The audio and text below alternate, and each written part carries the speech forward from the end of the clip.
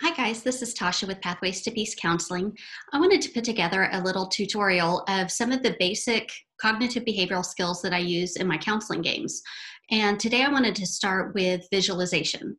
So, visualization is where you picture something in your mind. Like you can close your eyes and picture yourself on the beach, and you want to imagine a lot of details. Like you want to think about what the waves sound like when they're crashing, what the birds sound like when they're squawking. Um, imagine the sand under your feet, the wind blowing on you. You know, as you incorporate all your different senses into the visualization, it is really helpful.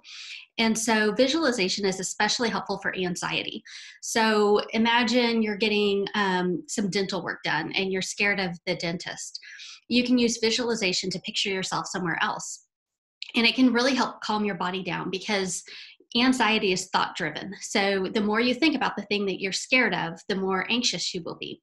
So visualization is just a really helpful, helpful coping skill to help you calm down. And you can use it in all sorts of different ways.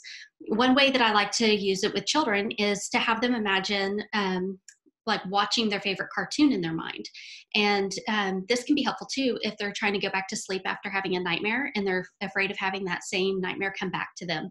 So, as they imagine their favorite cartoon, it blocks out all the scary thoughts of the nightmare that they had had, and they're able to calm themselves down. So that is Visualization 101.